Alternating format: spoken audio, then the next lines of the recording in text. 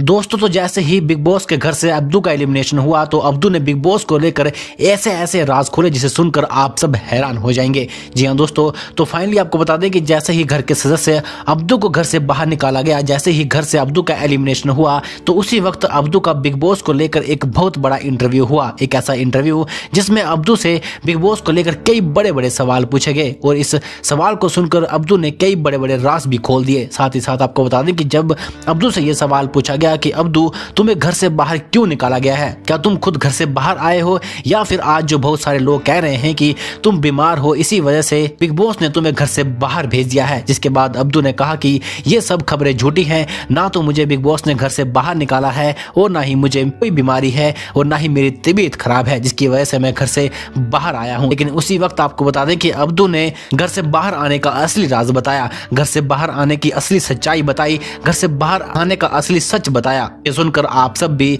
हैरान हो जाओगे और सोचने लग पड़ोगे कि क्या अब्दू के साथ सचमुच ऐसा होने जा रहा है? क्या अब्दू इस काम की वजह से सचमुच घर से बाहर आए हैं? आखिर क्या है पूरी खबर? आखिर आज अब्दू किस कारण की वजह से घर से बाहर आए हैं? इसी को लेकर अब्दू ने इंटरव्यू में कई सारी सच्चाई, कई बड़े बड़े राज खोल दिए। आखिर कौन सा है ये राज? चलिए आपको बताते हैं इस वीडियो में, लेकिन इससे पहले आपको बता दें कि बिग बॉस से जुड़ी हर बड़ी खबर के लिए हमारे चैनल को ज़रूर सब्सक्राइब करें।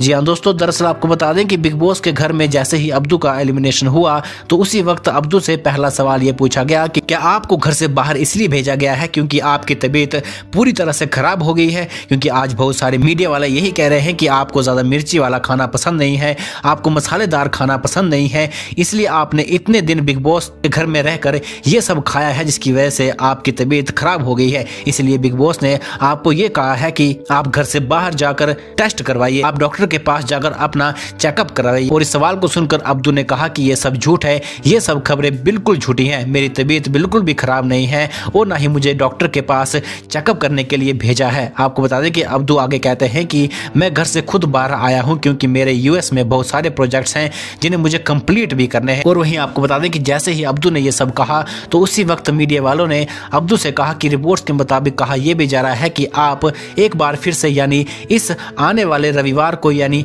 इस आने वाले संडे को बिग बॉस के घर में वापस जा रहे हैं। और आपको बता दें कि जैसे ही मीडिया वालों ने अब्दू से ये सवाल पूछा तो अब्दू ने उसी वक्त कहा कि इसके बारे में मैं आपसे कुछ भी कहना नहीं चाहता हूँ। तो कुल मिलाकर बात करें तो आपको बता दें कि अब्दू ने बहुत सारे बिग बॉस के राज खोले भी हैं और कुछ झूठ भी कहा है। प्राइस कवर में इतना ही। वेल दोस्तों, आपको क्या लगता है कि बिग बॉस के घर में एक बार फिर से अब्दू की वापसी होगी या फिर नहीं? आप हमारे कमेंट बॉक्स में ज़रूर लिखें और बिग बॉस से जुड़ी हर बड़ी खबर के लिए हमारे चैनल को ज़रूर सब्सक्राइब करें।